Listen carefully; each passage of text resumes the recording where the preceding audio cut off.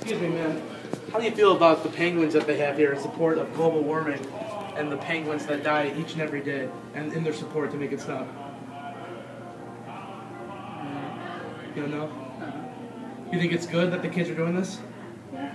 Yeah? Mm-hmm. Are you in support of penguins staying alive in South Pole? Uh-huh. Yes. Yeah? Yes. Well, thank you for your time. Okay, you're welcome. Hello, sir.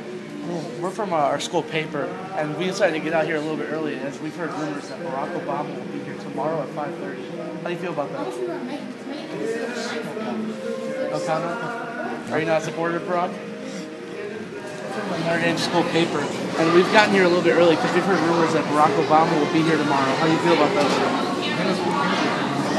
Oh, you don't? Do you know who Barack Obama is?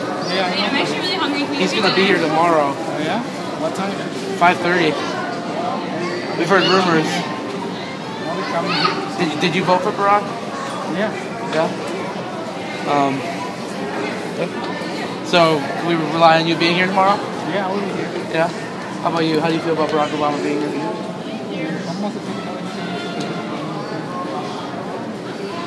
Yeah. Thank you. Excuse me, ma'am. We're from our local high school newspaper. Uh, we came out here earlier uh, to beat the other big news crews. We have confirmation that Barack Obama will uh, be here at 5:30 tomorrow. Do you have any input on that? No. No, Not that interesting, no. not that interested. No. Did you vote for him? Yes. Uh, do you think you'd come out to support him and uh, see him tomorrow? Because he'll be here at 5:30. No.